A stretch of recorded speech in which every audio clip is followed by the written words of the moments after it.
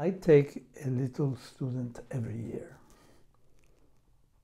even though my schedule is impossible, but I always make space for a little. It keeps me honest. It keeps me in touch with the begin, the foundation, and I never forget that.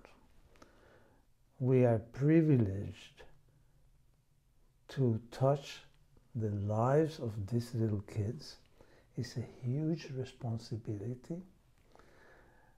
And what you do with this child and how you nurture the curiosity, the curiosity of music has to do with that first teacher, you know. Some kids already come with musical talent that, that shows. And then there's some kids who arrive who don't even know why they're there. the mother said, or the father, it's time for piano lessons. And what does that mean?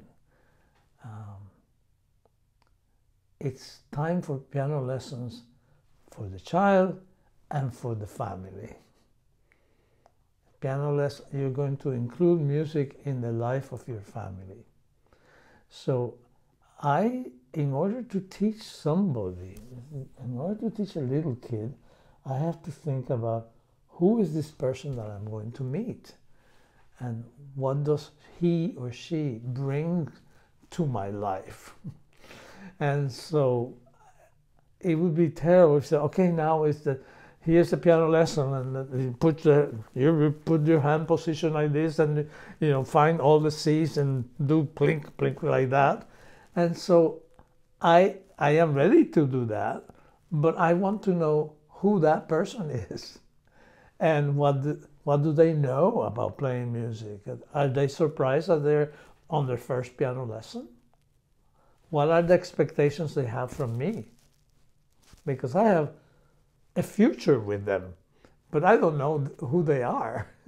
and so I want to know what they love and what they like and how they sound and what is their favorite thing to do, what do, what do they enjoy, and I want to ask, you know, if they say, well, you know, I like playing baseball, let's, let's say. And I said, well, do you play in a team? And, and what is your favorite position when you are with in the little leagues? Do you, are you, are you good at batting or do you pitch and what?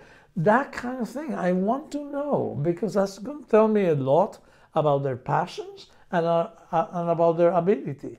Because every position, I'm, I'm just making this up right now, but every position in a baseball game has its own quality. You know, if they just want to hit that ball or do they want to catch it? Do they want to throw it to the next base? Um, why is the shortstop over there? That's the one that saved the game, you know. So, so there's there's different heroes there. Uh, and how do they get to love the baseball? Does the parents share that love?